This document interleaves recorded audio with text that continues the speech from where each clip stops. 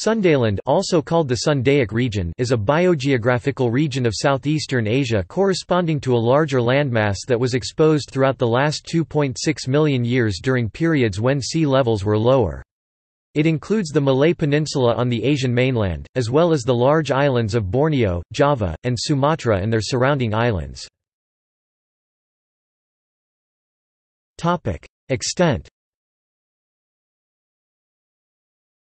The area of Sundaland encompasses the Sunda Shelf, a tectonically stable extension of Southeast Asia's continental shelf that was exposed during glacial periods of the last 2 million years. The extent of the Sunda Shelf is approximately equal to the 120 meter isobath. In addition to the Malay Peninsula and the islands of Borneo, Java, and Sumatra, it includes the Java Sea, the Gulf of Thailand, and portions of the South China Sea. In total, the area of Sundaland is approximately 1,800,000 square kilometers. The area of exposed land in Sundaland has fluctuated considerably during the past recent 2 million years. The modern land area is approximately half of the maximum extent. The western and southern borders of Sundaland are clearly marked by the deeper water of the Indian Ocean. The eastern boundary of Sundaland is the Wallace Line, identified by Alfred Russel Wallace as the eastern boundary of the range of Asia's land mammal fauna, and thus the boundary of the Indomalaya and Australasia ecozones. The islands east of the Wallace Line are known as Wallacea, a separate biogeographical region that is considered part of Australasia. The Wallace Line corresponds to a deep water channel that has never been crossed by any land bridges. The northern border of Sundaland is more difficult to define in bathymetric terms. A phytogeographic transition at approximately 9 degrees north is considered to be the northern boundary. Greater portions of Sundaland were most recently exposed during the last glacial period from approximately 110,000 to 12,000 years ago. When sea level was decreased by 30 to 40 meters or more, land bridges connected the islands of Borneo, Java, and Sumatra to the Malay Peninsula and mainland Asia. Because sea level has been 30 meters or more lower throughout much of the last 800,000 years, the current state of Borneo, Java, and Sumatra as islands has been a relatively rare occurrence throughout the Pleistocene. In contrast, sea level was higher during the late Pliocene, and the exposed area of Sundaland was smaller than what is observed at present. During the last glacial maximum sea level fell by approximately 120 meters, and the entire Sunda shelf was exposed. Modern climate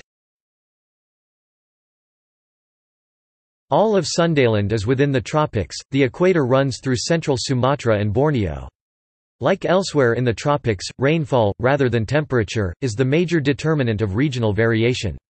Most of Sundaland is classified as perhumid, or everwet, with over 2,000 mm of rain annually. Rainfall exceeds evapotranspiration throughout the year, and there are no predictable dry seasons like elsewhere in Southeast Asia. The warm and shallow seas of the Sunda Shelf, averaging 28 degrees Celsius or more, are part of the Indo-Pacific Warm Pool, Western Pacific Warm Pool, and an important driver of the Hadley circulation and the El Niño Southern Oscillation (ENSO), particularly in January when it is a major heat source to the atmosphere.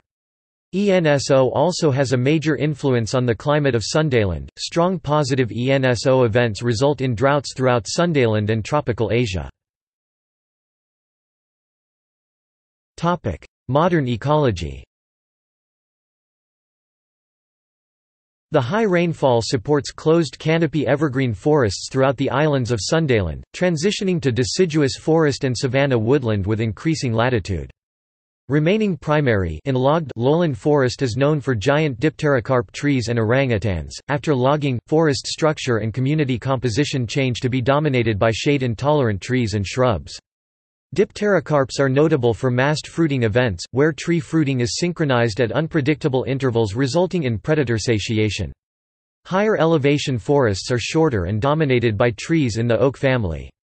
Botanists often include Sundaland, the adjacent Philippines, Wallacea and New Guinea in a single floristic province of Malesia, based on similarities in their flora, which is predominantly of Asian origin. During the last glacial period, sea levels were lower and all of Sundaland was an extension of the Asian continent.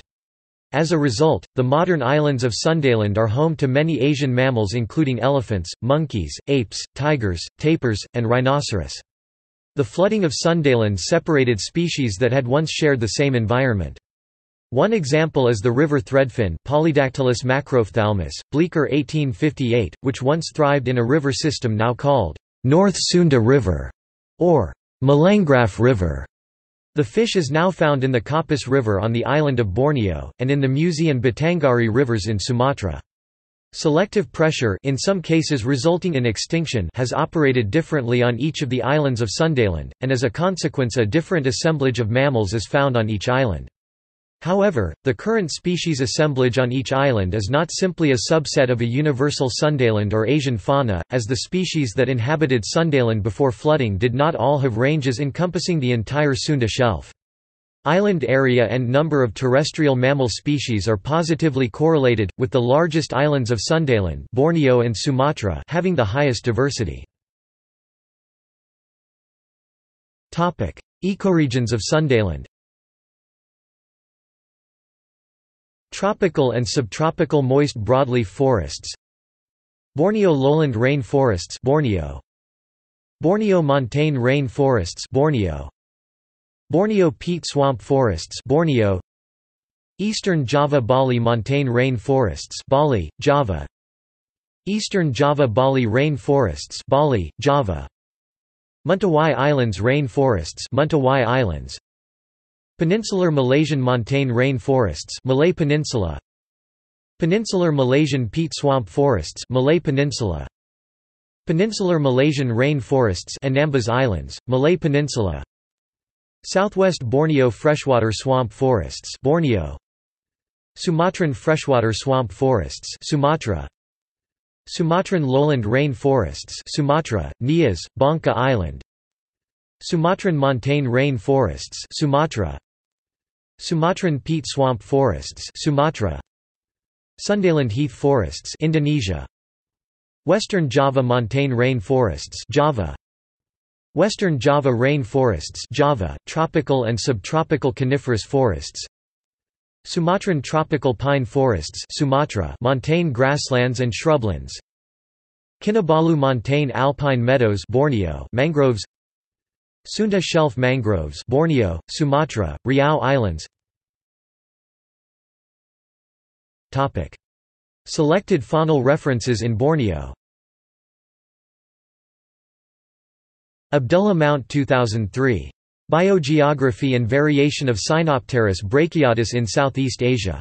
Ph.D. thesis. The University of Queensland, St Lucia, Australia. Corbett, G. B., Hilja, 1992.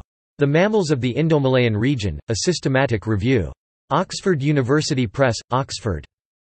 Hall L.S., Gordon G. Grigg, Craig Moritz, Besar Ketol, Isa Sait, Wahab Marni, Abdullah Mount 2004. Biogeography of Fruit Bats in Southeast Asia. Sarawak Museum Journal LX 81, 191–284. Karim, C. A. A. Tuen, Abdullah Mount 2004. Mammals.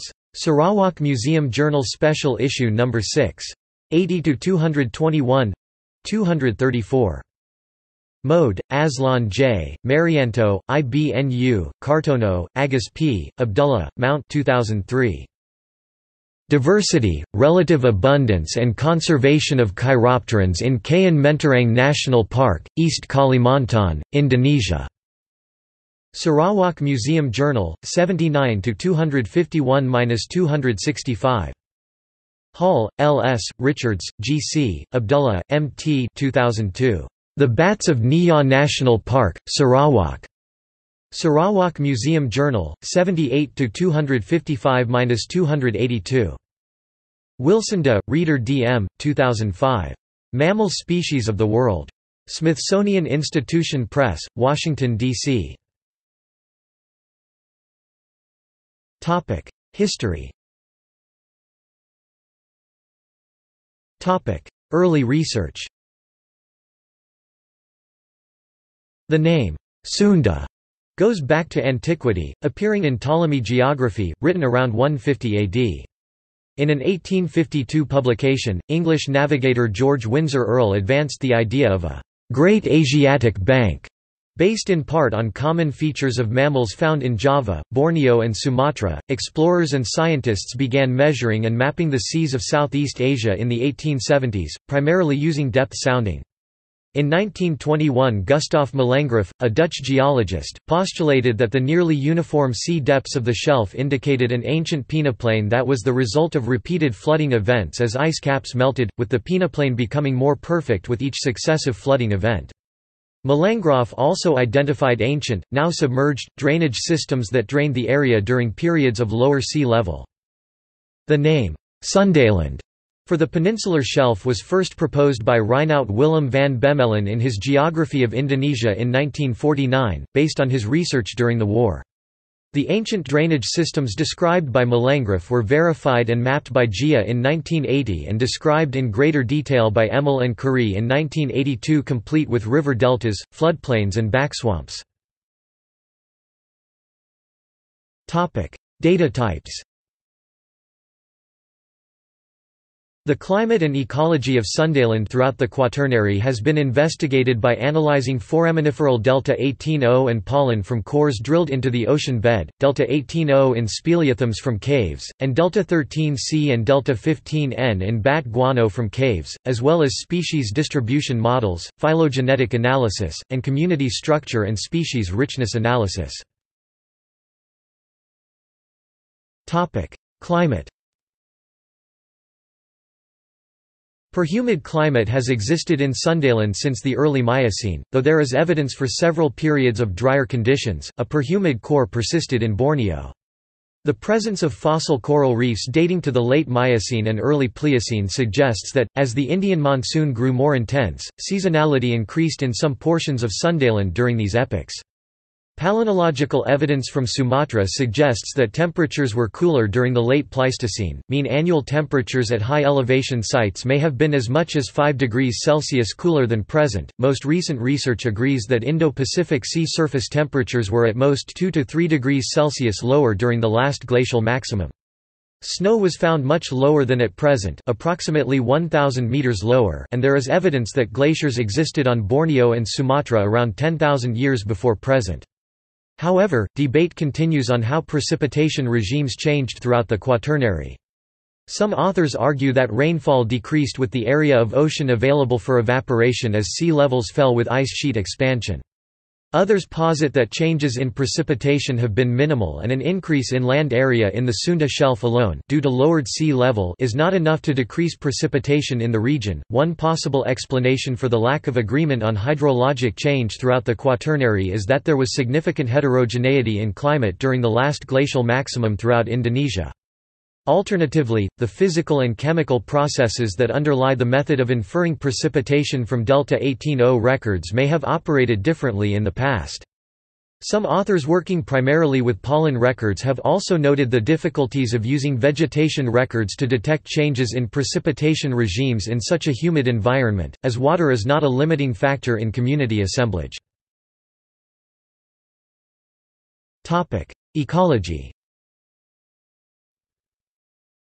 Sundaland, and in particular Borneo, has been an evolutionary hotspot for biodiversity since the early Miocene due to repeated immigration and vicariance events. The modern islands of Borneo, Java, and Sumatra have served as refugia for the flora and fauna of Sundaland during multiple glacial periods in the last million years, and are serving the same role at present. Savannah corridor theory Dipterocarp trees characteristic of modern Southeast Asian tropical rainforest have been present in Sundaland since before the last glacial maximum. There is also evidence for savanna vegetation, particularly in now submerged areas of Sundaland, throughout the last glacial period. However, researchers disagree on the spatial extent of savanna that was present in Sundaland.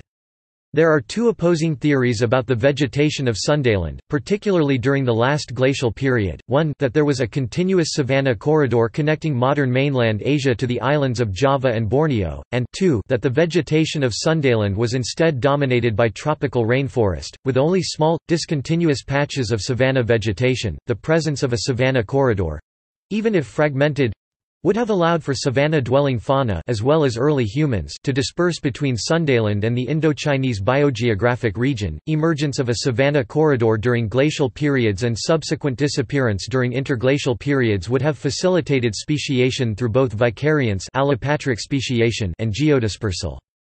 Morley and Flenley (1987) and Heaney (1991) were the first to postulate the existence of a continuous corridor of savanna vegetation through the center of Sundaland from the modern Malaysian peninsula to Borneo during the last glacial period, based on palynological evidence. Using the modern distribution of primates, termites, rodents, and other species, other researchers infer that the extent of tropical forest contracted—replaced by savanna and open forest—during the last glacial period. Vegetation models using data from climate simulations show varying degrees of forest contraction. Bird et al. 2005 noted that although no single model predicts a continuous savanna corridor through Sundaland, many do predict open vegetation between modern Java and southern Borneo. Combined with other evidence, they suggest that a 50 to 150 km wide savanna corridor ran down the Malaysian peninsula, through Sumatra and Java, and across to Borneo. Additionally, Wurster et al. 2010 analyzed stable carbon isotope composition in bat guano deposits in Sundaland and found strong evidence for the expansion of savanna in Sundaland. In contrast, other authors argue that Sundaland was primarily covered by tropical rainforest. Using species distribution models, Raes et al. 2014 suggest that dipterocarp rainforest persisted throughout the last glacial period. Others have observed that the submerged rivers of the Sunda Shelf have obvious, incised meanders, which would have been maintained by trees on river banks. Pollen records from sediment cores around Sundaland are contradictory, for example, cores from highland sites suggest that forest cover persisted throughout the last glacial period, but other cores from the region show pollen from savanna woodland species increasing through glacial periods. And in contrast to previous findings, Wurster et al. 2017 again used stable carbon isotope analysis of bat guano, but found that at some sites rainforest cover was maintained through much of the last glacial period.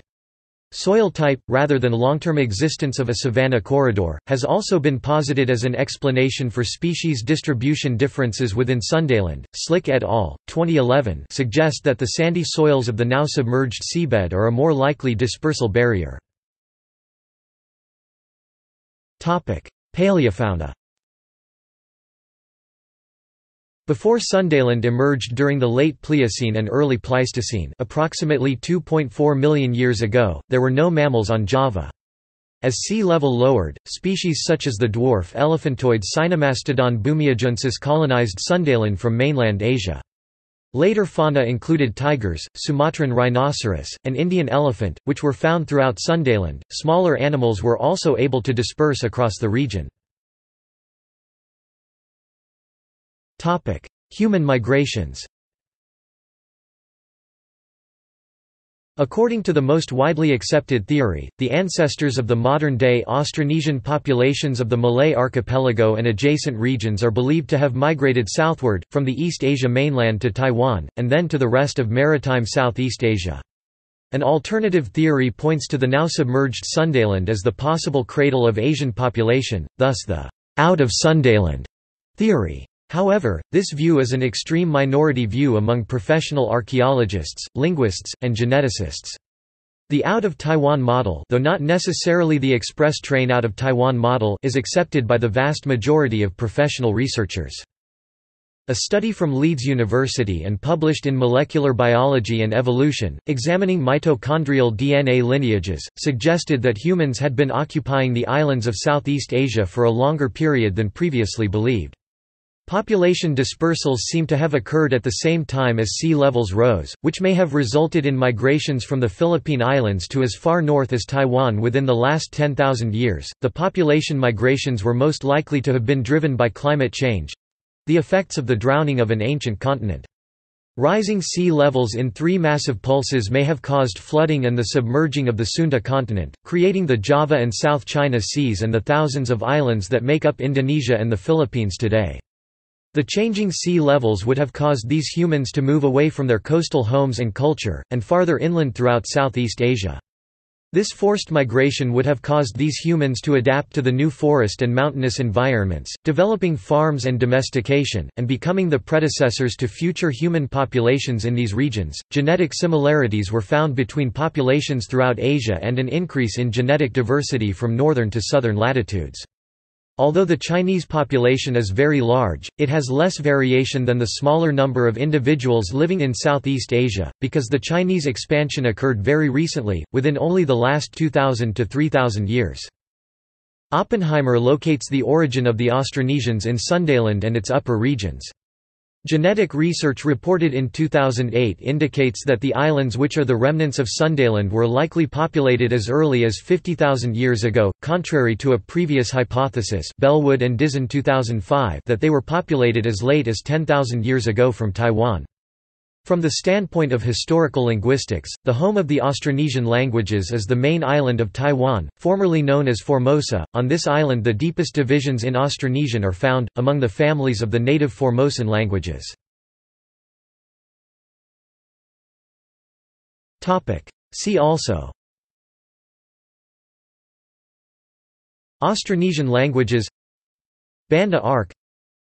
Biogeography Father tongue hypothesis. List of islands of Indonesia. Oceania. Australasia. Australia continent. Oceanic trench. Plate tectonic. Sunda Arc. Sunda Islands. Greater Sunda Islands. Lesser Sunda Islands. Sunda Trench. References External links Review of Oppenheimer's Eden in the East, about Sundaland